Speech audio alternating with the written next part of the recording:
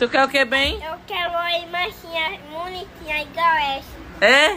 Gente, Benjamin tá pedindo uma pra ele. Ó, sim. É, ele quer uma igual você.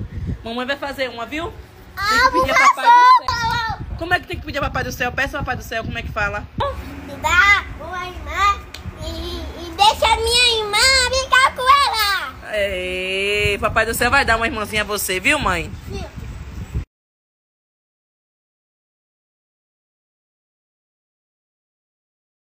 Gente, deixa eu falar pra vocês, ela tá aqui comigo hoje, vai passar o dia aqui comigo hoje, sozinha comigo. E aí, titia já fez o quê? Comprou um bico pra dar. Eu nem perguntei a mãe, nem o pai, nem ninguém se podia dar. Comprei o bico pra dar ela.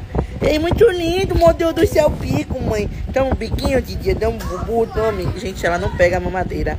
Aí hoje ela pegou aqui comigo. E agora eu tô dando bico pra ver se pega, só que ela tá jogando fora. Criança com bico é maravilhoso, você é doido. Não tem nem comparação, a mãe faz tudo. Tamo, Bubu. O Bubu, Titi, é o Bubu, mãe. Sim, o Bubu, assim.